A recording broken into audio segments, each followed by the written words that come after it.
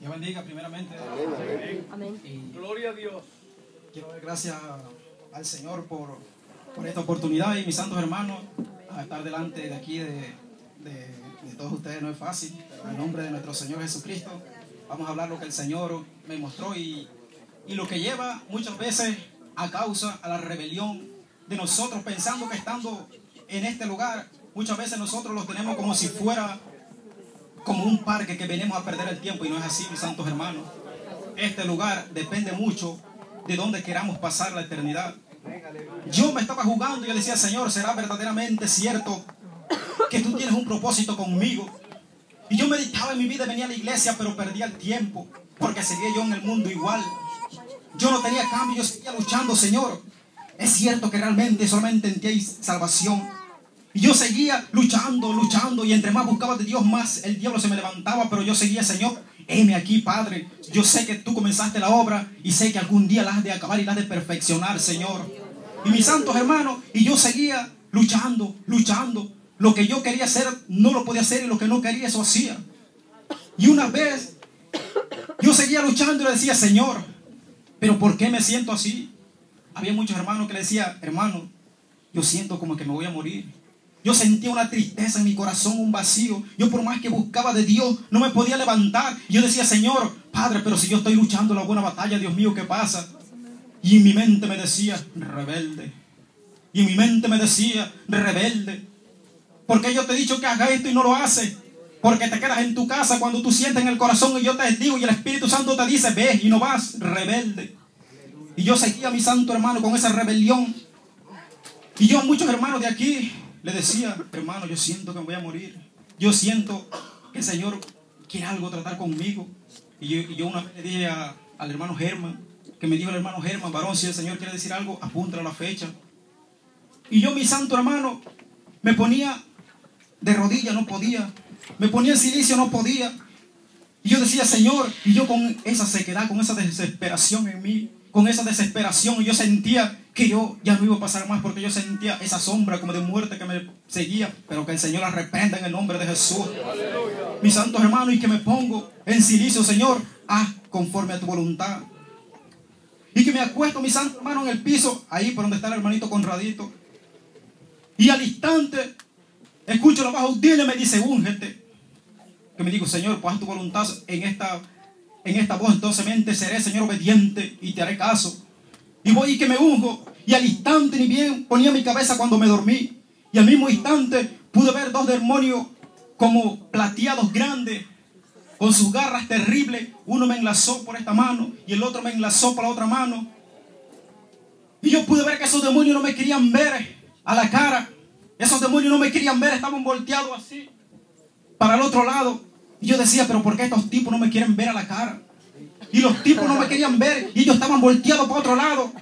Pero más no sabe, mis santos hermanos, que todo el que está aquí adentro, la unción de Dios la tiene, pero nosotros aún no queremos ver eso y no queremos reconocer que el Cristo de la gloria nos cambió verdaderamente. Y si nosotros reconocemos, mis santos hermanos, que verdaderamente en Cristo Jesús el hombre es libre, la iglesia estará diferente, mis santos hermanos. Y yo seguía ahí con esos demonios. Y esos demonios no me querían ver. Y solo pude ver para el cielo dos ángeles grandísimos, mis santos hermanos. Su vestidura blanca, su pelo hasta aquí como oro que resplandecía. Y esperaban como a siete personas con los brazos abiertos. Y esas personas se levantaron esas personas se levantaron con un gozo que no sabían si gritar, brincar. Su rostro, mi santo hermano, una felicidad que yo no podía entender. Y yo viéndolo así, pero en vez de ir para arriba, iba para abajo. Porque todo cristiano, mi santo hermano, que piensa que ser cristiano es cualquier cosa, no es así, mis santos hermanos. Todo aquel que acepta a nuestro Señor Jesucristo es nueva criatura, como dice la palabra. Y yo seguía ahí, mi hermano, y esos ángeles con los brazos abiertos, grandísimos. Algo hermoso, mis santos hermanos, que en esta tierra no se puede describir. Seres tan maravillosos como esos. Y esperaban esa, a esa gente, como siete personas, que resplandecían de ese blanco, de un blanco brilloso.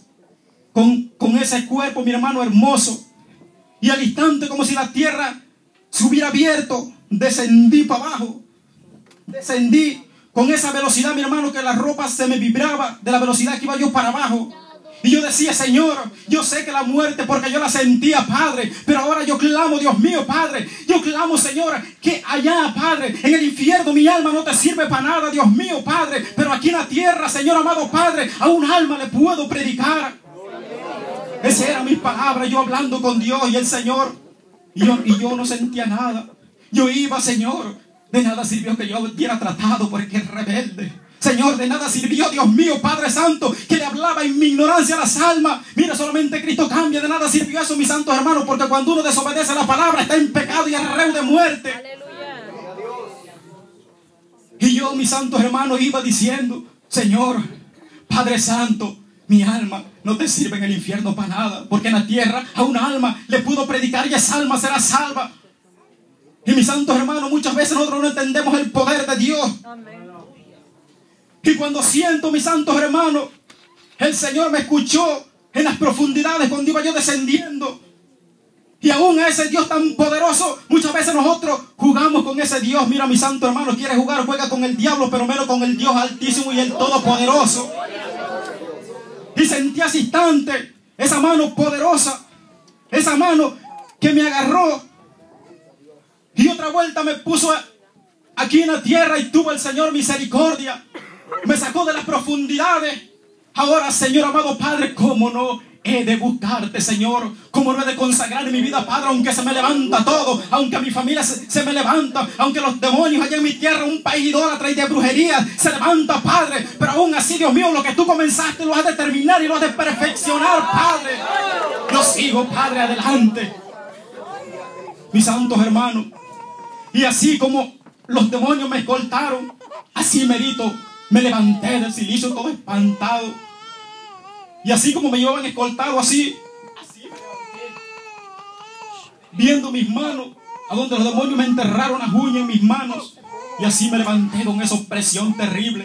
Y ahora yo le digo, Señor, si tú no me dejaste en el infierno, no volverá más, Padre, a que los demonios pongan otra vuelta las manos en sobre mí, Padre. He de luchar, Dios mío, de postrar mi alma buscándote, Señor amado Padre. Pero tú tienes que ayudarnos, Jesús de Nazaret, Padre. Señor, porque tú eres grande y poderoso para vencer, Dios mío, Padre. Ayúdanos, Señor, cuando clamamos, cuando te buscamos, Señor.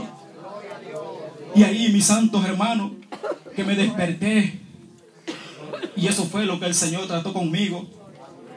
Ay, que mis santos hermanos, verdaderamente, todo cristiano que está media, todo cristiano que realmente está jugando con Dios, quiere jugar, te gusta el juego, juega con el diablo, pero menos con Dios, porque eso es la paga de la rebelión. Esa es la paga cuando uno es inconstante. Cuando uno dice, me siento vacío, el culto tuvo aburrido, aburrido tuviste tú, porque realmente no entraste con unción de gracia por la puerta. Alabado sea el Señor y mis santos hermanos ahí fue mi parte y eso fue lo que el Señor me mostró y porque Dios me lo bendiga y Dios me lo guarde.